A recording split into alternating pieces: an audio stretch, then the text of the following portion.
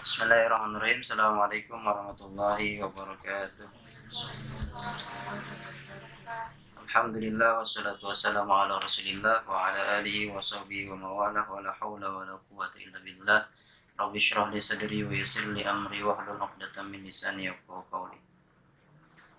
Uh, Ba'da tahmid dan salawat uh, marilah kita bersyukur atas segala nikmat yang telah Allah berikan.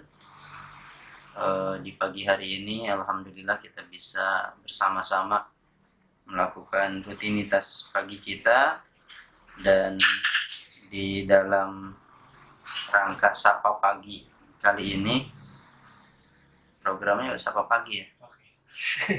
Sapa pagi.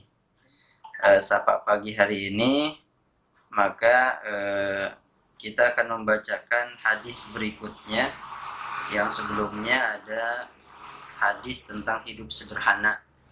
Kemarin hadis tentang hidup sederhana itu uh, kul washrab walbas watasaddaq fi ghairi wala mahillatin.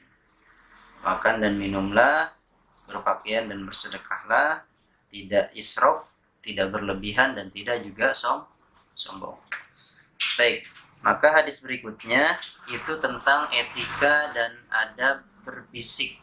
Hmm, ini bagaimana kemudian Islam itu dengan kesempurnaannya, dengan syumuliyahnya, kita diingatkan senantiasa dalam segala lini kehidupan. Termasuk dalam berbisik, ternyata ada etikanya. Ya, kadang kita suka bisik-bisik tanpa disadari ternyata bisik-bisik yang kita lakukan itu menjadi sebuah dosa yang tanpa kita sadari. Maka Rasulullah Shallallahu Alaihi Wasallam mengingatkan kita dalam hadisnya yang diriwayatkan oleh Imam Bukhari dan Muslim, "Idza kuntum salasah fala yataj fala yatanajasnani dunal akhar hatta takhtalitu bin nasi min ajli anna dzalika yukhzinu." Rawahu Syaikhani. Idza kuntum salasah, apabila kalian bertiga. Kalau kita lagi kumpul bertiga.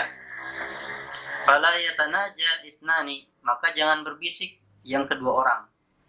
Jadi kalau kita bertiga, jangan kemudian dua orang ini berbisik hatta tak uh, dunal akhor. Jadi meng, meng, apa namanya? tidak menghiraukan saudaranya yang satu lagi.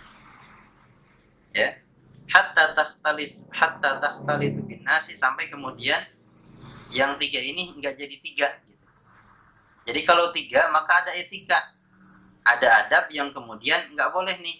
Yang dua berbisik, yang satu enggak ber, yang satu kemudian di diabaikan. Sampai kemudian nanti ada temannya lagi yang keempat. Nah ini baru boleh yang dua ini boleh berbisik. Karena yang satu ini ada temannya, gitu ya min ajli anna dzalika yukhzinuhu. Jangan sampai karena perbuatan yang demikian itu sangat bisa jadi membuat sakit hati orang yang ketiga ini. Oh jangan-jangan dia ngomongin saya nih gitu. Ya maka etika sesederhana ini ini kemudian diingatkan oleh Rasulullah.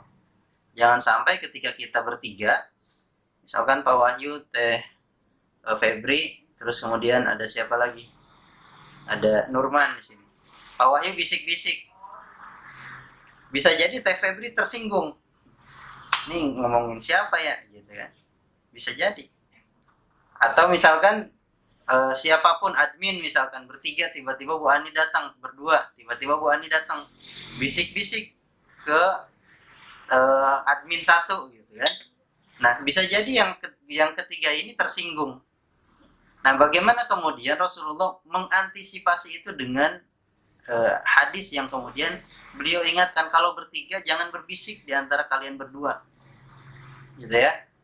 Maka kapan boleh berbisik itu? Manakala si yang ketiga ini sudah juga menemukan saudaranya atau menemukan partnernya sehingga tidak ada ketersinggungan di antara ketiganya. Oleh karena itu, ini merupakan uh, adab yang menjadikan bagaimana kita dengan sesama saudara kita ini merasa nyaman. Ya di bawah ruang produksi misalkan Bu Ani uh, Kang Gilang sama Miftah tiba-tiba di belakang bisik-bisik. Bu Ani kan di depan nggak nggak ngerasa nyaman tuh. Jangan-jangan nih ngomongin saya nih di belakang nih gitu kan? Nah maka dalam posisi bertiga itu cari kecuali kalau berdua. Berdua mau bisik-bisik juga nggak ada masalah. Ya apalagi kalau misalkan sedang banyak orang bisik-bisik nggak ada masalah. Tapi kalau bertiga jangan sampai kemudian ada yang merasa oh saya ini kayaknya diomongin nih gitu. Ya. Nah, itulah syumuliahnya Islam. Bagaimana kemudian Rasulullah mengajarkan kita tentang adab dan etika untuk bisa menjaga saling menjaga e, perasaan saudara kita oleh karenanya mudah-mudahan eh, hadis-hadis yang disampaikan di e, sapak pagi ini mengingatkan kita kembali untuk senantiasa menjaga etika, menjaga adab, menjaga silaturahim, menjaga bagaimana hubungan persaudaraan kita, ukhuwah Islamiyah kita tetap terjaga, tetap stabil dan tidak saling mencurigai dan tidak saling menyakiti. Ya, artinya kita adalah teamwork yang satu sama lain saling melengkapi, satu sama lain menutupi aib kita masing-masing. Ya, oleh karenanya Allah sudah tutup tuh aib kita. Jangan sampai kemudian uh, kita buka aib-aib kita. Ya. Oleh karenanya ini menjadi bagian yang juga mengingatkan saya secara pribadi dan kita semua. Baik, itu saja untuk uh, pesan sapa pagi kali ini. Mudah-mudahan bermanfaat dan uh, ini menjadi pelajaran di pagi hari ini. Uh, mudah-mudahan kita lebih baik lagi menjadi manusia yang senantiasa uh, tidak hanya sekedar soleh tapi juga muslih jadi soleh itu untuk kepentingan pribadi tapi muslih itu juga dia peduli dengan uh, kesolehan seseorang saudara-saudaranya yang lainnya demikian assalamualaikum warahmatullahi wabarakatuh Laundry Pesantren, solusi berdaya mandiri.